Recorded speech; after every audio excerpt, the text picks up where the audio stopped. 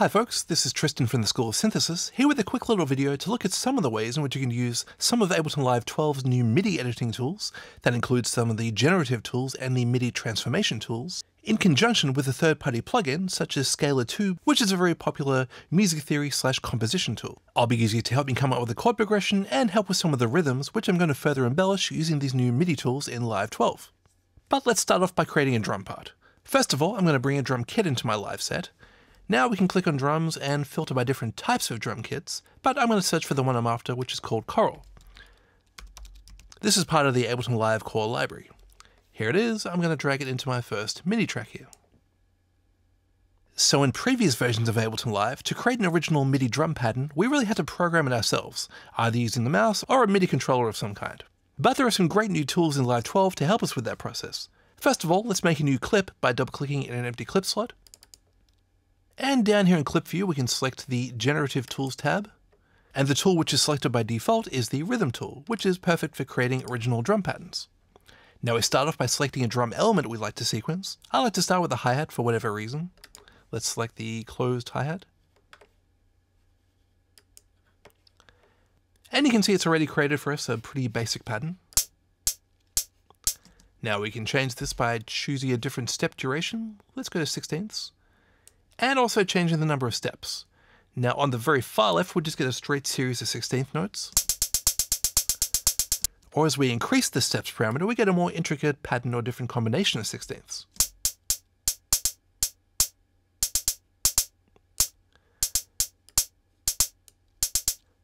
And we can play around with different pattern presets. As well as adjusting the density of notes.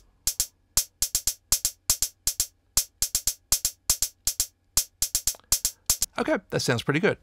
Now we could certainly repeat the same process for the kick drum and the snare, but I've got a basic idea of how I'd like it to go, so it's probably a bit faster just to draw in the notes. So I'm going to press B to go into the drawing tool mode, and then just add a series of kick drums and snare drums. Okay, let's have a listen to that. Sounding good, I might bring down my tempo a little bit.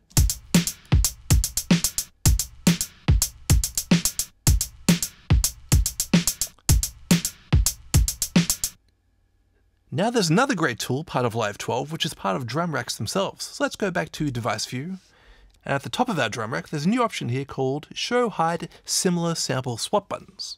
When we click that, we can see that each pad gets its own left and right buttons, and we can use them to cycle through some similar sounding samples. So it's a really quick way to audition some different drum elements. I'm just going to cycle through some different hi-hats and snares.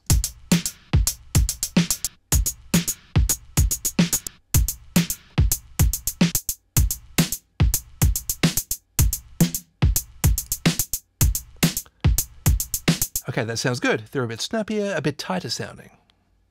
So, now that we've got a basic drum pattern programmed, let's move on to the more melodic elements. And to help with that process, I'm going to use Plugin Boutique's Scaler 2 plugin. I've got it as part of my favorites collection here. Let me just drag Scaler 2 into a new MIDI track here. Okay, so Scaler 2 is great for creating an original chord progression from scratch, as well as coming up with different melodies and bass lines. And we can browse through scales and see the associated chords, and create new chord progressions from them. But in the interest of time here, I'm going to use one of the preset chord progressions, which is part of the song section. And I'm quite fond of this J-pop chord progression number one. There are some great sounding chords here.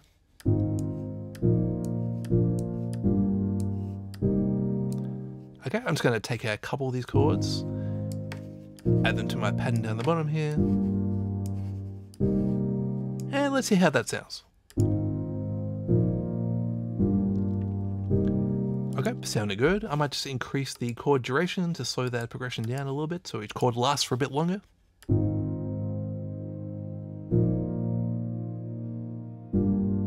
Alright, that sounded good. To make it a bit more interesting, I'm going to add a rhythm. So I'm going to turn on the performance mode here, and I'm going to choose the rhythms, and let's go with common rhythm number three.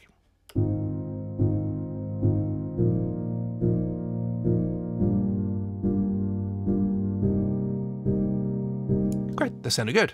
Now I'm going to drag that pattern into my clip slot on track 2. Alright, so now we have that chord progression and the rhythms as a MIDI clip. Now there's all sorts of things we can do to fine tune and tweak this rhythm, and to do that I like to use one of the MIDI transformation tools called Time Warp. And instead of applying this to all of my MIDI notes, I'm just going to do this in pairs of notes. For example, these two chords here. Let me just loop the first bar so we can hear what's happening.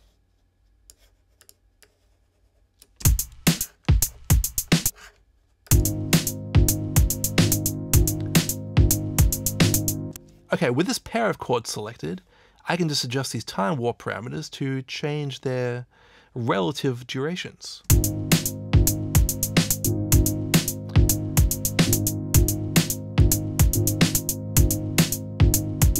Okay, this sounds good. Just make that second chord a little bit shorter. And that should just spice things up a little bit, so adds a bit more rhythmic variation to what I originally had.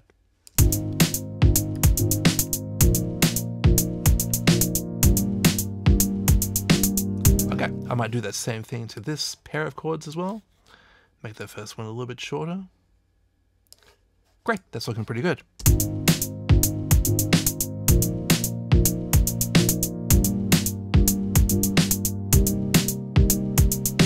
Nice, I like the sound of that. Okay, at this point in time, I'm going to keep this MIDI clip here as a reference, but I'm going to disable the Scaler 2 track and create a new instrument on a new MIDI track. And the instrument I'm going to use for this is Meld, which is one of the new instruments included with Live 12. So let's find it. Here it is, Meld. And let's browse through some of the presets. And we can filter these presets by type if we know the sort of sound we're after. I'm going for more of a piano keys type of sound, so let's select piano keys. And I'm quite fond of this flab preset. Let's have a listen to that. Okay, that sounds pretty good. I'm going to drag that preset into my blank space here to create a new MIDI track. And now I'm going to copy my MIDI clip from my Scaler track over to this new instrument track. I can do that by holding the Option key on my keyboard while I drag.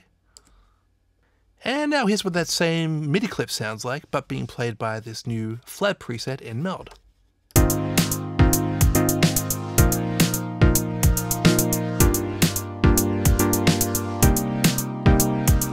Great, sounds pretty good. However, I can tweak this a little bit to make it a bit more interesting. So back in my MIDI Transformation Tools tab, I'm going to select the Strum tool. And just by adjusting this parameter here, I can make all the notes in each chord slightly offset, so that it sounds more like a guitarist strumming through a series of strings.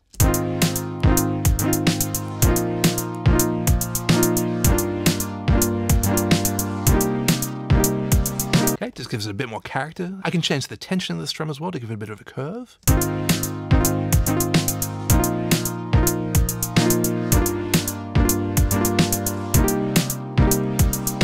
Great, just sounds a little bit more interesting this way.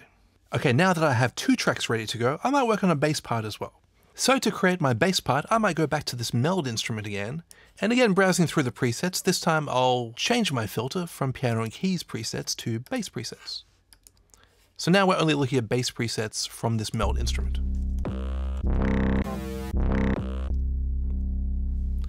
Okay, I think this basic preset works fairly well. Let's add that to a new MIDI track. And to get us started, I can just drag that same MIDI clip from my Scaler track over to my bass track. And even though we have a series of chords, Meld is only going to play one note at a time. Because the keys preset we added to this track has meld in polyphonic mode, so it can play more than one note at a time. However, this bass preset we just used puts it into monophonic mode. So even though we have chords, it's only going to play one of the notes from that chord.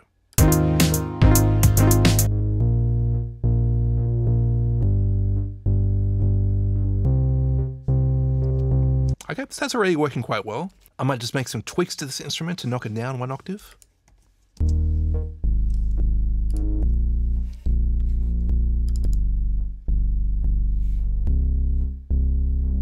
Okay, that sounded pretty good. So currently we're only hearing the lowest note from each of these chords.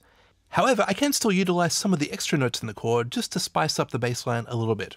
For example, one approach could be to use some of the new MIDI probability tools. I'm just going to expand this bottom section and show the chance lane. Now what we can do is we can take one of these chords, for example, this chord here, and in my chance lane, I can put them into the play one group.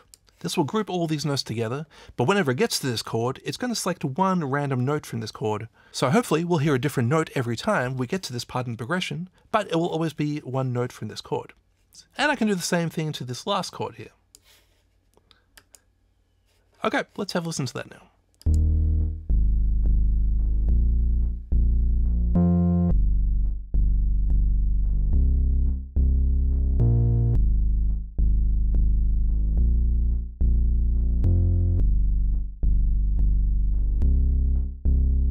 Okay, so some of these chords are still creating a little bit of confusion even when I'm not using the probability tool. So I'm just going to quickly go through and remove some of the notes which I definitely don't want to hear. I'm just pressing the zero key on the keyboard to mute the notes.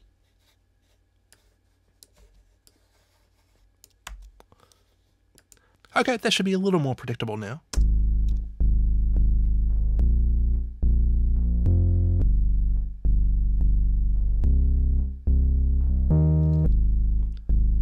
Okay, so another option we have to potentially make this bass line more interesting is to, instead of just choosing one random note from each of these chords, would be to play the entire chord but as an arpeggiated pattern.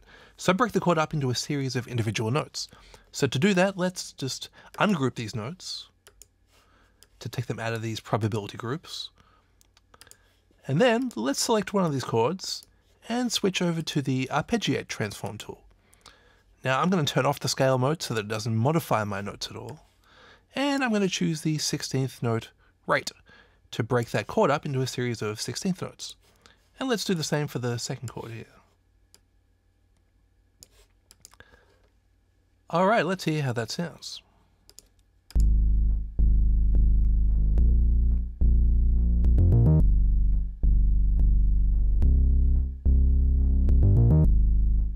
Okay, that sounds interesting. Let's listen to that in context with the rest of the tracks.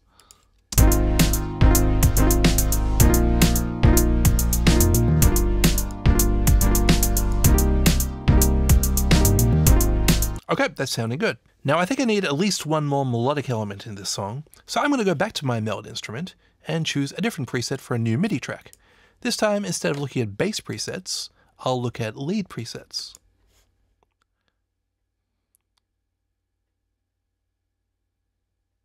So there are some really nice sounds here. Let's listen to a few of them. I think this one sounds pretty good. Let's add that to a new track. And once again, I'm going to take my MIDI clip from my Scaler track and copy that across to my new lead track. Now at the moment I just have a series of chords. However, I might turn this into an arpeggiated line. Now I could use the arpeggiate transform tool, or I could go back to the trusty old arpeggiator MIDI device, which has actually had a nice makeover as of Live 12. I'm going to shift tab back over to device view, then over in my MIDI effects section, I'm going to find the arpeggiator and just drag that in front of my instrument. Okay, let's switch this over to the 16th mode. And let's hear how that MIDI clip sounds with this arpeggiator playing.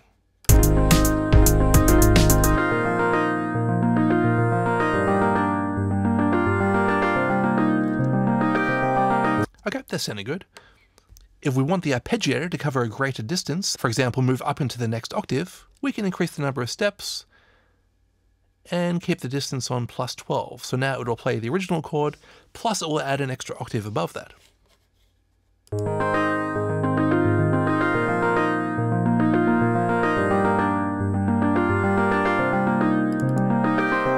However, it's really not staying on any one chord long enough to get to those higher octaves, so let's join some of these chords together to turn them into a longer note.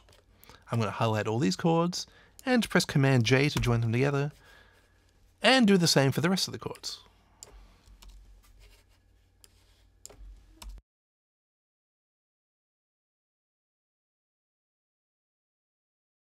Alright, let's have a listen to that now.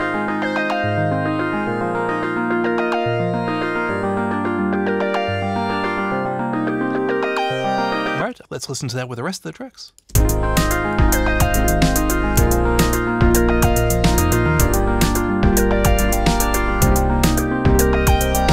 Alright, it's getting a little jumbled here, so let's pan some of the tracks around to make them stand out a little bit.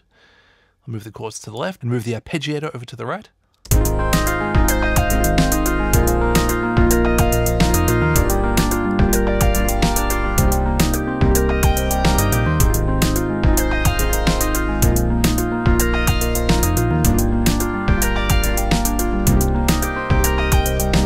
Okay, that sounded pretty good. Now, one little trick we can do to create a bit of cohesion between the drums and this arpeggiated line is to add a gate effect after my instrument device. So over in audio effects, I'm going to find the gate utility, drop that after my instrument, and I'm going to open the sidechain setting, turn on the sidechain, and tell it to listen to the audio coming from my drum kit. However, I'm only going to listen to the audio coming from the closed hi-hat track.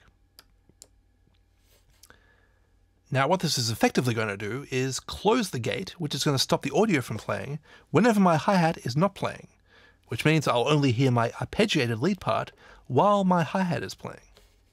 Let's see how that sounds.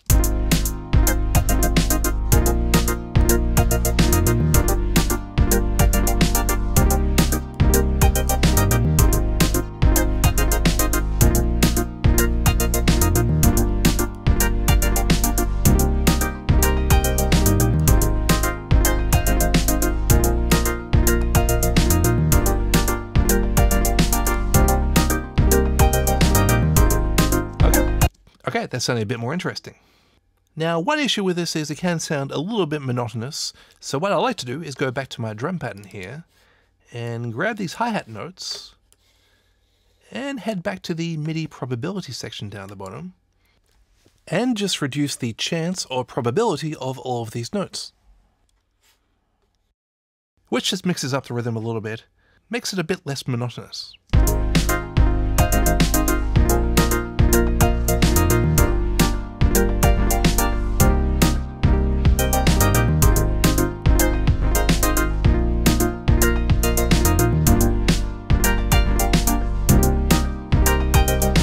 Okay, overall, I think this is sounding pretty interesting. All I need right now is a nice synth pad track to glue it all together. Now we've given this meld instrument a pretty good workout, so I might go back to this wavetable instrument, which was first included with the Suite version of Live 10. Now I'm only going to look at the pad presets. There's a lot of really nice sounding pads here. I'm just going to audition a few of them quickly.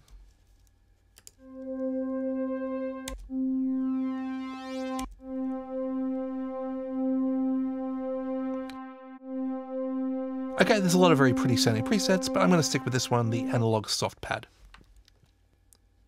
And what I'm going to do here is just drag my chords from this arpeggiated track over to my pad track.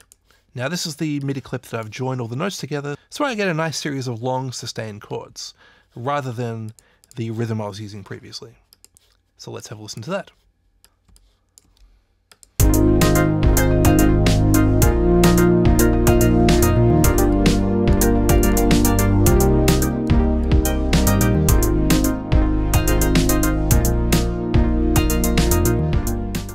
I might try this uh, arpeggiated part without the gate.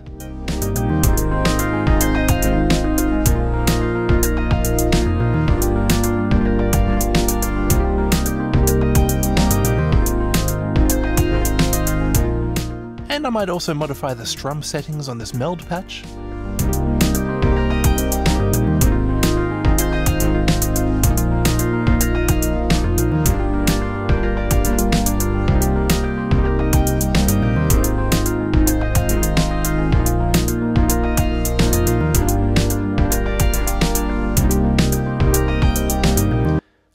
About all I have for this video, so thanks very much for watching. Hope this has been helpful.